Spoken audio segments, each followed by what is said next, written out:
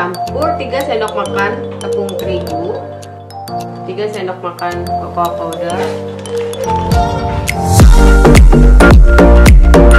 6 sendok makan gula pasir seperempat sendok teh vanili saya pakai vanili cair 1 saset susu kental manis 42 gram 250 ml air. Kita aduk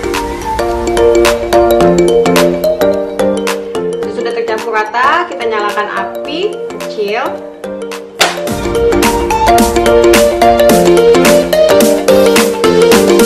Terakhir kita masukkan setengah sendok teh margarin.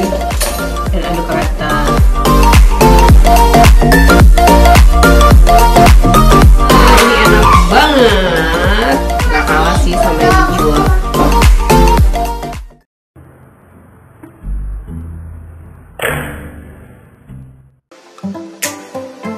Halo semua, saya Lindawati. Hari ini mau bikin srikaya roti kukus ala kopi tiam. Cobain yuk.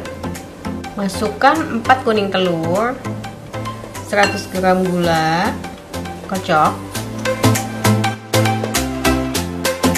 Masukkan 300 ml santan, 4 lembar daun pandan,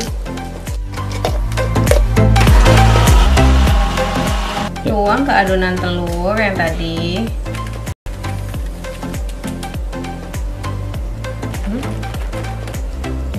kita saring beri seperempat sendok teh pasta pandan sejumput garam. Kita aduk. Tambahkan satu sendok makan maizena. Sajikan dengan roti tawar yang sudah dikukus. Selamat mencoba!